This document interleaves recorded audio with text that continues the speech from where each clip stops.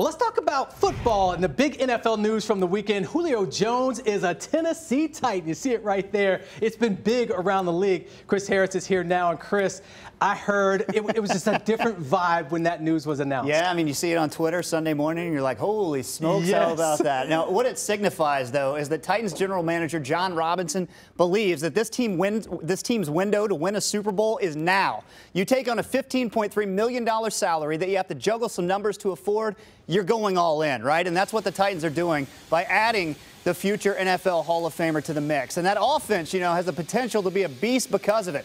But remember, J. Rob's never been afraid to make bold moves to try to help the team. Sometimes it's worked, sometimes it hasn't. But this is a team who's had a winning record every year since Robinson took over because of his decisions.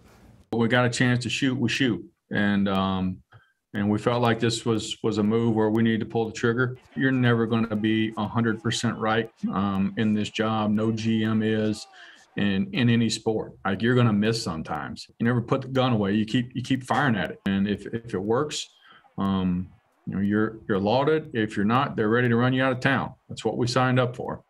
That is the name of the game. Now, here are a few of the tidbits of Julio's resume.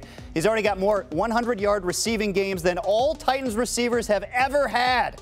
He's been elite for a decade, and even last year, when he played in just nine games because of a hamstring issue, he still went for 771 yards. And now, of course, Julio's got one of the best QBs in the league throwing in the ball. Yeah, I'm talking about Ryan Tannehill. He does not get nearly the love that he deserves. In fact, at 6:30, we'll show you the numbers that back that up, Marius. The only number we need to see is number 11, Julio Jones in Nashville. Chris, thanks.